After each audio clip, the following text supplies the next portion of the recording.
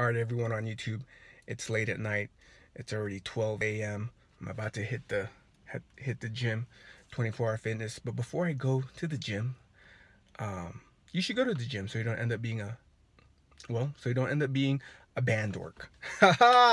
Anyways, before I go to the gym, I'm gonna show you guys how to do the D major scale. The D major scale is the first and third valve for D, and then E first and second, and then F sharp so you do F sharp and then it's going to be G. Don't press any of the valves.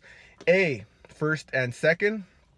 B, just the second valve, the middle. And then C sharp and then release.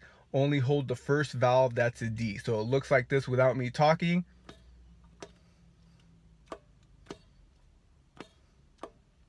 When you, uh, you know, let's say you have to play, let's say you're playing uh, a B when you want to play the C sharp, you don't have to let go of the B and then and then play the C sharp. You can just hold the B and go to C sharp to save some time on finger movement, okay? Saving time on finger placement and movement is important on any instrument. So let's play, let's play the D major scale.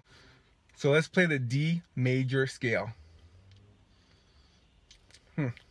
My lips are a little chapped. D major scale.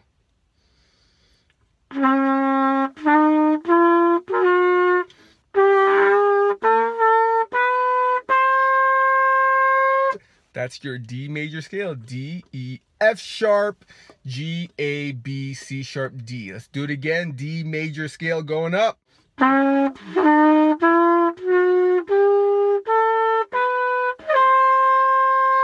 Sorry it's a little raspy. I've been practicing all day today, so my jaw's a little tired. So I'm having this uh, well, I'm creating this raspy sound on the trumpet. Anyways, look at it again. D, E, F sharp, G, A, B, C sharp, D. You just have to keep practicing.